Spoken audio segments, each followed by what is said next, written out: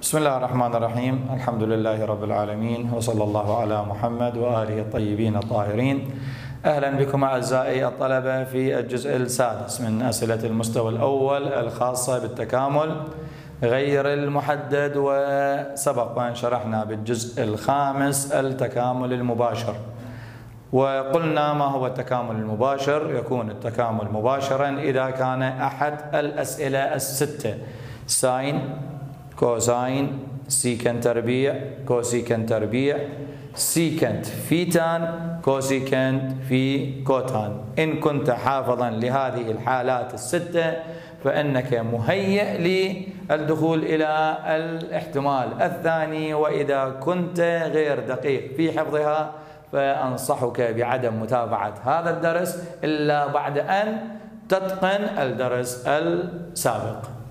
أعزائي. قلنا أن مشتقات الدوال المثلثية. الدوال المثلثية ستة مشتقة ال sine cosine مشتقة ال cosine سالب sine وهكذا بالحالات الستة. أريد أن أذكرك بالقاعدة الخامسة في تكاملات الدوال الجبرية. عندما أقول لك تكامل x تربيع زائد واحد أس أربعة اثنين x دي x. أخذنا هذا السؤال وما يشبهه من في الأجزاء السابقة وقلنا عند ظهور أقواس مرفوعة إلى قوة وكانت مشتقة داخل القوس موجودة خارج القوس سوف نطبق القاعدة الخامسة وما هي القاعدة الخامسة؟ قلنا أن خارج القوس سوف يختفي مشتقة الأكس تربيع 2 أكس موجودة. إذا خارج القوس سوف يختفي والقوس يبقى على حاله x تربيع زائد واحد ونضيف إلى الأس واحد ونضرب في مقلوب الأس الجديد زائد سي إذا هذا أمر سابق. كيف سنربط الحالة السابقة بالدرس الحالي؟ عندما أقول لك أريد تكامل sine أس أربعة x cosine x dx. هل هذا السؤال تابع إلى الاحتمال الأول؟ ستقول لي كلا لأن الاحتمال الأول كما أتقنتموه يحوي على ست أسئلة فقط لا غير. ما هي الستة sine وحدها cosine وحدها سيكنت تربيع وحدها كوسيكنت تربيع وحدها سيكنت في تان وحدها وكوسيكنت في كوتان وحدها. وهذا السؤال هو ليس من الحالات الستة. إذا هذا السؤال مرشح أن يكون ضمن الاحتمال الثاني. ماذا أقصد بالاحتمال الثاني أعزائي؟ أقصد بالاحتمال الثاني إذا تم العثور على دالة مثلثية. مرفوعة إلى قوة معينة وكانت مشتقة الدالة بدون قوتها موجودة بجوارها. إذا هذا السؤال يعد ضمن أسئلة الاحتمال الثاني. إذا مشتقة ال sine ماذا؟ مشتقة ال sine cosine. إذا سيكون هذا السؤال ضمن الاحتمال الثاني والاحتمال الثاني أقصد به تطبيق القاعدة الخامسة كما تم تطبيقها قبل قليل للدوال الجبرية. هذه المشتقة تختفي وال sine القوس يبقى على حاله. نضيف إلى الأس واحد ونضرب في مقلوبه زائد سي أريد أن أذكركم أعزائي إذا كانت القوة تقع فوق الحرف الأخير للدالة المثلثية فإنها تقع فوق الكل. يعني ماذا أقصد؟ يمكن كتابة هذا الجواب بواحد على خمسة sine x الكل أس خمسة زائد سي. ستقول لي هل أنا مجبر بكتابتها بهذه الصورة وزاريا؟ كلا أعزائي يمكنك كتابة الحل بهذه الصورة وتحصل على الدرجة الكاملة. سنحاول أخذ سؤال آخر وهذه المرة أريد أن تتابع معي. عندما أقول لك تكامل cosine أس سبعة اثنين x و sine اثنين x dx. هل هذا السؤال يعد ضمن أسئلة الاحتمال الأول؟ ستقول لي بكل ثقة إنه لا يقع ضمن أسئلة الاحتمال الأول. هل يقع هذا ضمن أسئلة الاحتمال الثاني؟ ستقول سأجري تجربة. إذا كانت مشتقة الدالة المثلثية بدون قوتها أؤكد بدون قوتها مشتقة الدالة المثلثية موجودة بجوارها. إذا هذا السؤال تابع إلى الاحتمال الثاني. وإن قلنا موجودة لكنها تختلف بعدد ثابت. إذا كان الاختلاف ثابتا فالأمر قابل للمعالجة. نجري عملية موازنة. ما هو الثابت الذي أحتاجه؟ سأكتب هذا الثابت داخل التكامل وسأكتب مقلوبه خارج التكامل. ما هي مشتقة ال cosine 2x مشتقة ال cosine 2x هي سالب sine 2x في 2 إذا كانت المشتقة صعب إجراءها ذهنيا فلا بأس أن أتي على يمين الورقة الامتحانية. يمين الدفتر سأقول u تساوي cosine 2 x. du تساوي. ما هي مشتقة ال cosine 2 x مشتقة ال cosine سالب. sine ماذا؟ 2 x في 2 مشتقة ال cosine سالب sine نفس الزاوية في مشتقة الزاوية هل sine 2 x موجودة؟ نعم موجودة sine 2 x ماذا أحتاج؟ أحتاج سالب 2 كيف سأكتب السالب 2؟ نعم سأكتب سالب 2 داخل التكامل وأكتب ماذا؟ سالب نصف خارج التكامل إذا سيكون السؤال بالصورة التالية أعيد كتابة السؤال مجددا. 2x وساين. 2x dx ماذا أحتاج هنا؟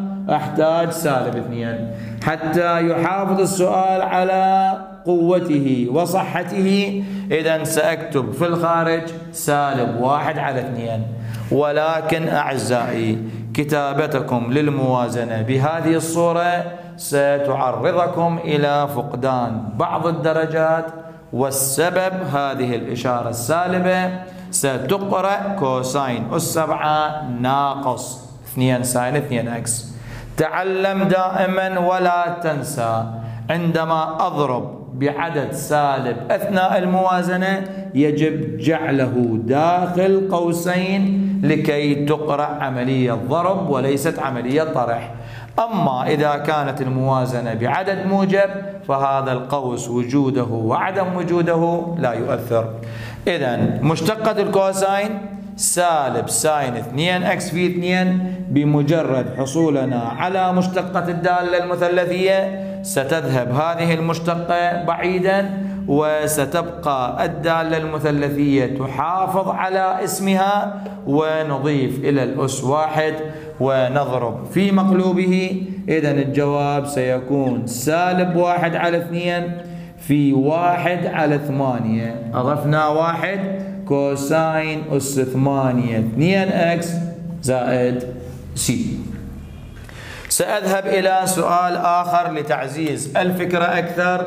عندما أقول تكامل على سبيل المثال secant تربيع أربعة x وهنا واحد زائد tan آه، أربعة x أس خمسة dx تعلمنا في المستويات المستوى الأول للأجزاء السابقة بأنه لا توجد قاعدة مباشرة لتكامل حاصل قسم الدالتين وعندها يجب التخلص من المقام. أما بالتحليل والاختصار أو برفع المقام إلى البسط هذه الطرق الأولية. إذا هنا لا يوجد تحليل. ماذا سأفعل؟ سنقوم برفع المقام إلى البسط. عندما نرفع المقام إلى البسط لابد أن إشارة الأسس سوف تتغير. إذا واحد زائد tan أربعة x أس سالب خمسة و secant تربيع 4 x dx. سوف أسأل هل هذا السؤال يعد ضمن أسئلة الاحتمال الثاني؟ ستقول إذا كانت مشتقة داخل القوس هي موجودة خارج القوس. أو تختلف عنها بعدد ثابت فإنه تابع للاحتمال الثاني. سنجرب. مشتقة الواحد صفر. مشتقة التان سيكن تربيع نفس الزاوية في مشتقة الزاوية. وإن كان عندكم تلكؤ في الاشتقاق لا تكمل مشاهدة هذا الدرس إلا بعد أن تعود إلى الجزء الخامس لإتقان عملية الاشتقاق والتكامل معا للحالات المباشرة. إذا مشتقة الواحد صفر مشتقة تان أربعة أكس سيكن تربيع أربعة أكس في أربعة. إذا عندي سيكن تربيع أربعة أكس. ماذا أحتاج؟ أحتاج هنا أربعة وهنا واحد على أربعة. إذا سأجري. عملية الموازنة هنا ستكون أربعة وهنا واحد على أربعة. هل يجب كتابة الأربعة داخل قوسين؟ هنا لا يجب ذلك إلا إذا كانت بإشارة سالبة. بمجرد حصولنا على مشتقة داخل القوس خارج القوس هذه المشتقة سوف تفنى بأجمعها ويبقى القوس على حاله بدون أي تغيير. ومن ثم سنضيف إلى الأس واحد ونضرب في مقلوبه. إذا سيكون الجواب واحد على أربعة في واحد زائد تان أربعة أكس سالب خمسة زائد واحد تساوي سالب أربعة ومقلوبه سالب. واحد على أربعة زائد سي إذا ماذا سيكون؟ الجواب هنا سيكون سالب. واحد على 16 أعتقد أنك ستقول لي ما فائدة هذا الكسر الكبير. واحد على 16 لا تحتاج إلى هذا الكسر. أقول لك بعد إجراء التكامل إذا ظهرت عندنا أسس سالبة يجب إرجاعها إلى موجبة عن طريق تنزيلها إلى المقام وستكون قرب الستة عشر. إذا واحد زائد tan أربعة x أس أربعة زائد سي.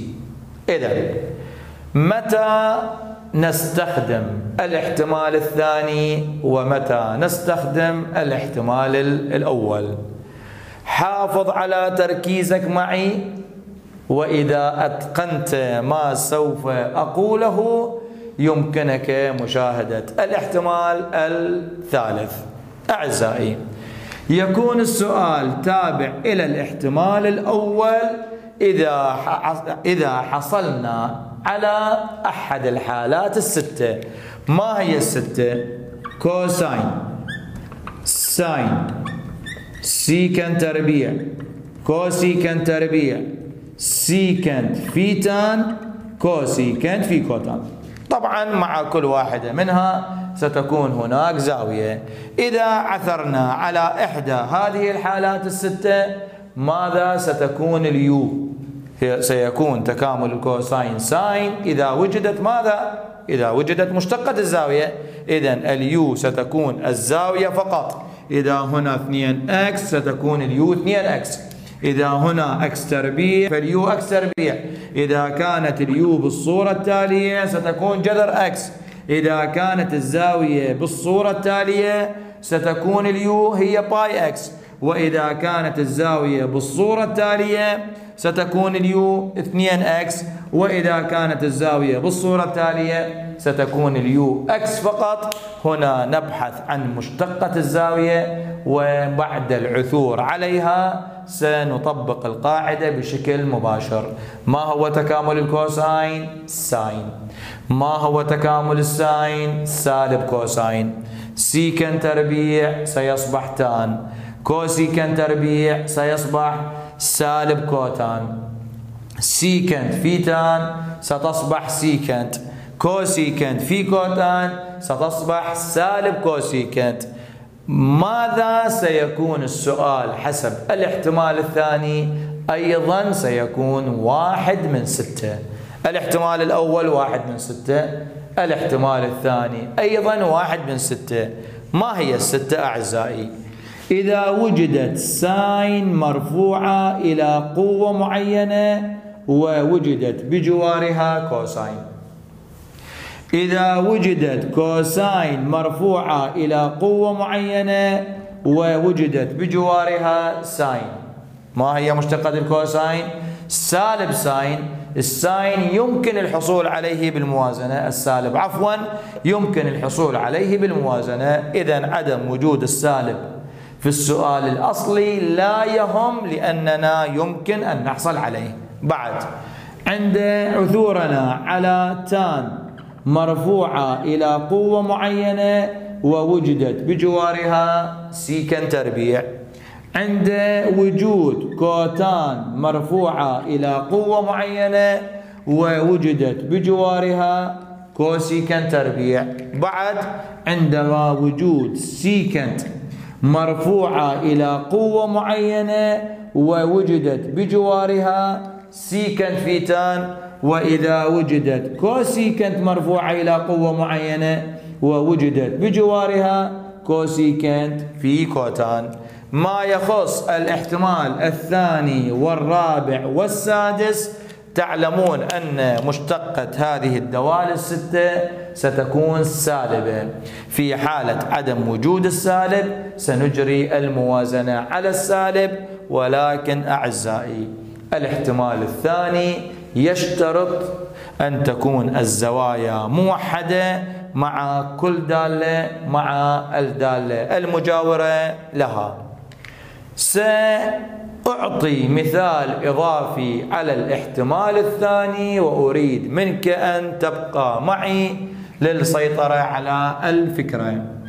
عندما أقول لك أريد تكامل secant أس أربعة x و tan x dx هل هذا السؤال تابع إلى الاحتمال الأول في رأيك؟ الاحتمال الأول يقول secant في tan إذا كانت هذه الأربعة غير موجودة ستكون secant في tan تكامل ال secant في tan secant كما أسلفنا. إذا كان السؤال غير تابع للاحتمال الأول فهل هو تابع إلى الاحتمال الثاني؟ سنجرب. إذا أخذنا الدالة هي ال tan فمشتقة ال tan هي ال secant تربيع. وهنا عندي secant أس أربعة. وإذا كانت الدالة secant فإن مشتقة ال secant هي secant في tan. وماذا عندنا هنا؟ عندنا tan. ولكن دالة ال secant وال cosecant تتصف بالكرم الشديد لماذا هي كريمة؟ ال secant إذا رفعت إلى أي قوة ووجدت ووجدت ال tan لوحده بجوارها ستعطيه secant إذا ماذا سيكون السؤال؟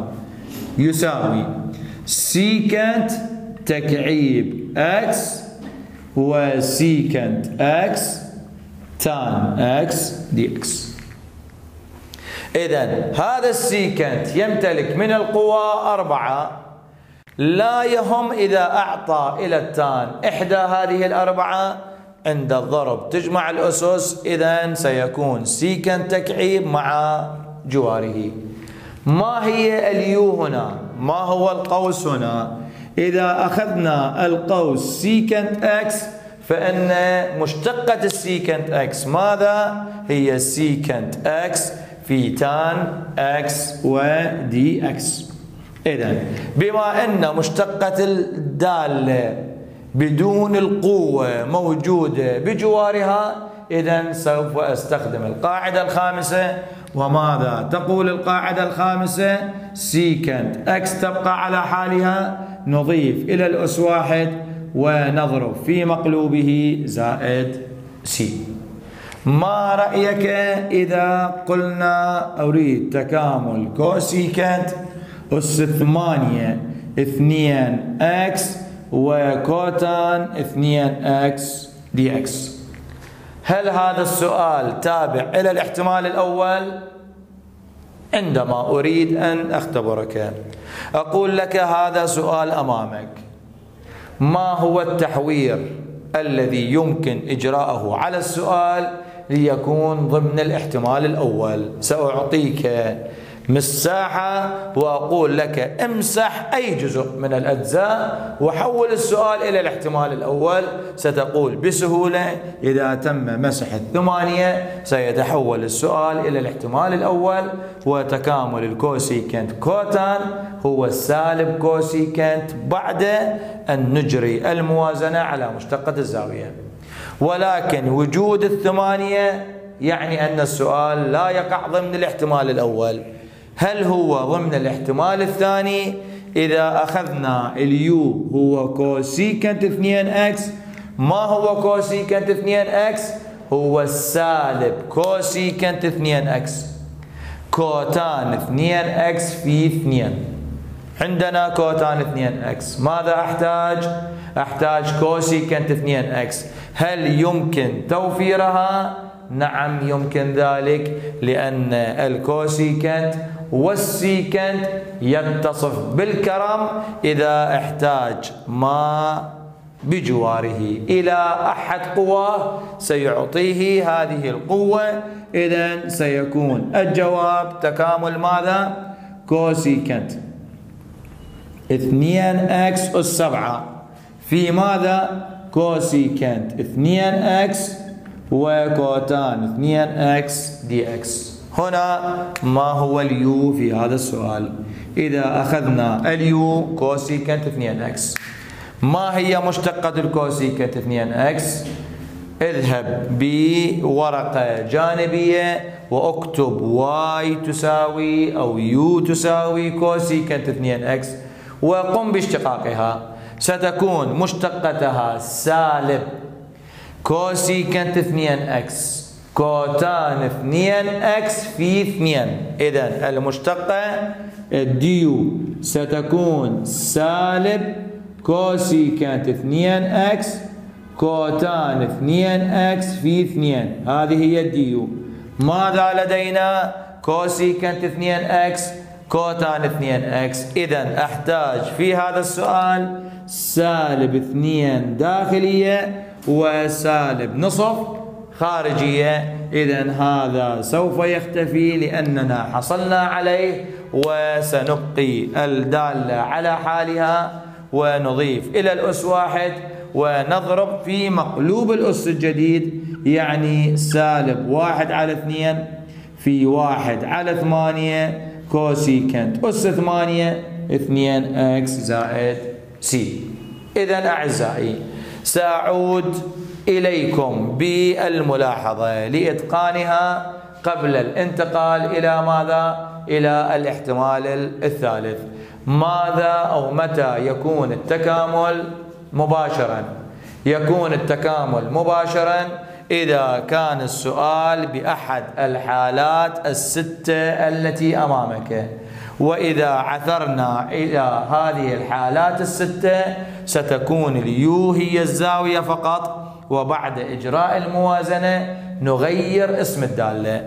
أما السؤال يكون تابع إلى الاحتمال الثاني إذا وجدت دالة أساسية مرفوعة إلى أي قوة ووجدت مشتقتها بجوارها بمجرد الحصول على مشتقة هذه الدالة سوف تذهب المشتقة بعيدا وسنحافظ على اسم الدالة. لاحظ عزيزي في الحالة الأولى نغير اسم الدالة ولكن في الحالة الثانية نحافظ على اسم الدالة ونضيف إلى الأس واحد ونضرب في مقلوب الأس الجديد. إذا الفرق بين الحالة الأولى والحالة الثانية أن في الحالة الأولى ستكون اليو هي الزاوية فقط. وبعد إجراء الموازنة نغير اسم الدالة أثناء التكامل. وفي الحالة الثانية ستكون اليو هي الدالة مع الزاوية بدون القوة. الدالة مع الزاوية بدون القوة. وبعد إجراء الموازنة وعند التكامل نحافظ على الاسم ونغير القوة وذلك بإضافة واحد إلى الأس ومن ثم الظرف في مقلوبه. إذا كونوا معي أعزائي مع هذا السؤال وأريد أن أناقشه معكم قبل أن أقول لك ماذا يحوي الاحتمال الثالث. تكامل sine اثنين. x في sine. تربيع x dx اذا هل هذا السؤال تابع إلى الاحتمال الأول؟ كلا. الاحتمال الثاني مشتقة ال sine cosine x هذا 2 إكس اذا لا هو احتمال أول ولا هو. احتمال ثاني اذا سيكون احتمالا ثالثا سوف نتطرق له أعزائي بالجزء السابع من أسئلة المستوى الأول. ابقوا معي ولا تذهبوا بعيدا. في الله.